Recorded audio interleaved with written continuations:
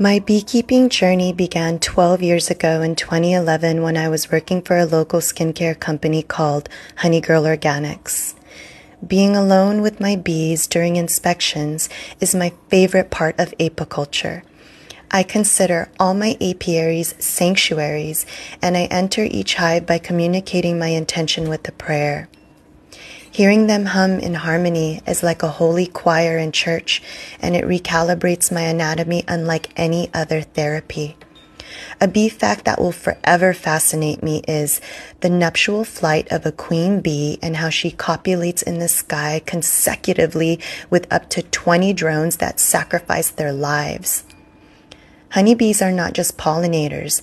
Over the years, the bees have showed me that they are messengers in every ecosystem, attuned to seasonal shifts and whatever flora is at its apex of life force.